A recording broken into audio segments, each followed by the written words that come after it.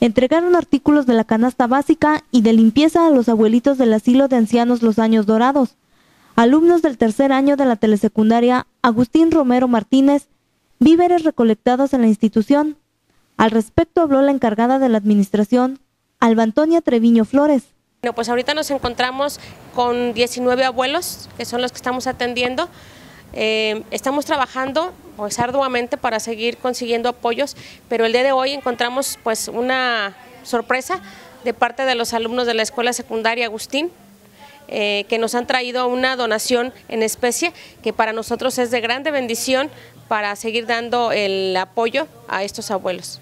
Manifestó que desde hace cinco años el asilo se sostiene de las donaciones que hacen los locatarios de los mercados Colón y Benito Juárez, así como de particulares. Sin embargo, las necesidades que más se requieren son artículos de limpieza y pañales para adulto.